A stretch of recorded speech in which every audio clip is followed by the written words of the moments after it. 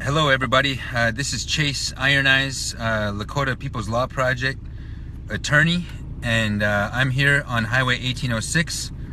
Uh, in your view is is just me talking right now, but behind you, I'm about to show you the uh, the most militarized blockade in North Dakota history is about to come down, but there is a National Guard and law enforcement presence in addition to private corporate DAPL security who those three bodies have been responsible for the constitutional, human, and civil rights violations of over 600 people. They have inflicted the most corporate violence and brutality in the last, in, in, in our modern times. I mean, we're talking since Ferguson, since the Wounded Knee standoff, since the civil rights struggle.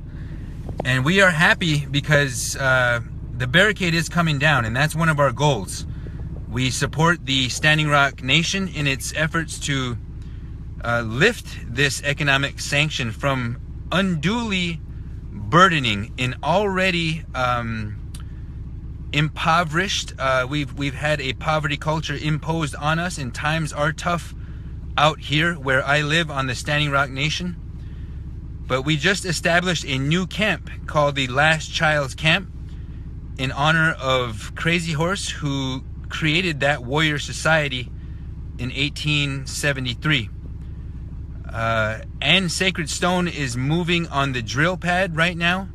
And so we are very concerned that it, there could quite possibly be a raid. We don't like to uh, inflame fear or, or cause undue concern. But we here, the thousand of us who are north of the Cannonball River, who are here in the liberated zone to make a treaty stand, to let the world know that these shackles that the United States and North Dakota, the political, legal, and economic shackles that are on Native nations today, the poverty culture, the dehumanization, and expropriation perpetrated on not only Native nations but all Americans through Trump tyranny, big extraction, and big finance we're here to let that conglomerate know that we are not taking any more of it. And we are here in an unarmed, peaceful, non-violent, and prayerful way. And we will continue to stand. I just want to show you, you can't, you can't see it. I can't go too close because uh, the live feed will cut out. But in the distance, you can see a huge crane removing the barricade and you can see a buildup of military, law enforcement, and private corporate security vehicles.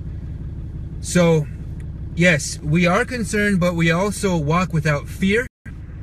Those of us who are on the ground out here understand exactly what the risks are, yet we are still committed to a dignified and peaceful assertion of our original and inherent authority and we demand our treaties, our sovereignty, our constitutional civil rights be honored. Trump tyranny seeks to inflict this kind of corporate violence on all of us. We either stand up now or we get run over by the Trump train. This is the next four years, ladies and gentlemen. So I wanted to provide you a quick update while I have signal because they've knocked my signal out a couple times. Thank you for watching. Thank you for sharing.